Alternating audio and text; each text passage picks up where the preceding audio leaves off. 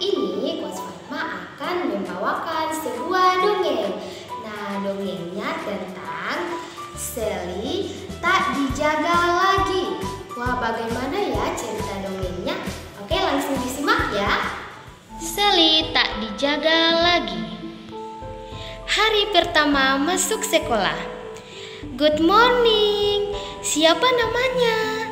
Sapa seorang coach Brilly Kids dengan ramah.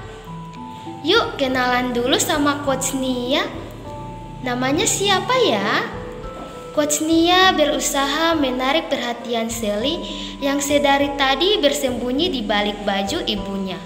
Seakan tak mau berpisah dari genggaman ibunya. Ayo Sally, kenalan dulu sama coach, kata ibu Sally. Kemudian, Oh, namanya Sally.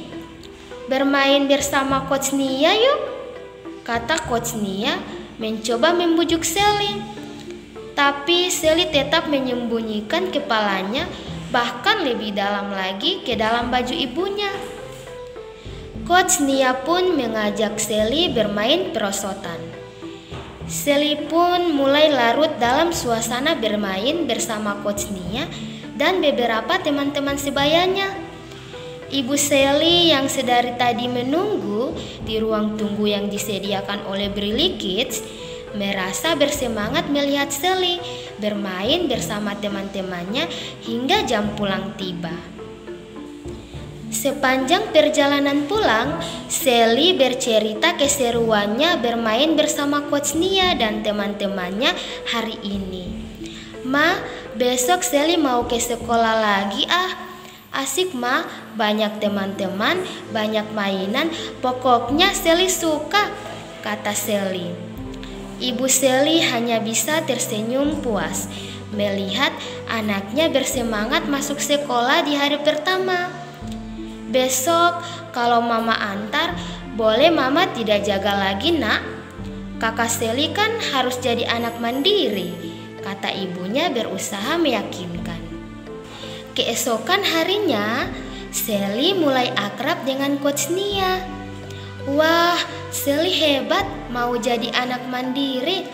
Tidak dijaga mama lagi. Tepuk tangan buat Sally, kata Coach Jul menyemangati Sally di hadapan teman-temannya.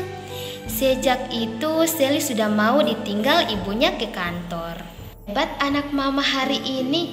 Sebagai hadiah, Sally boleh pilih mainan di toko Ira, kata ibunya sambil menyetir mobil ke arah toko Ira. Beneran, Ma? Asik, makasih, Ma, kata Sally gembira. Mereka pun singgah membeli mainan di toko Ira. Nah, teman-teman, ternyata Sally anak yang mandiri. Pergi ke sekolah tidak ditemani ayah atau bundanya. Jadi teman-teman, kalau ke sekolah harus jadi anak yang mandiri ya, tidak ditemani ayah dan bunda lagi.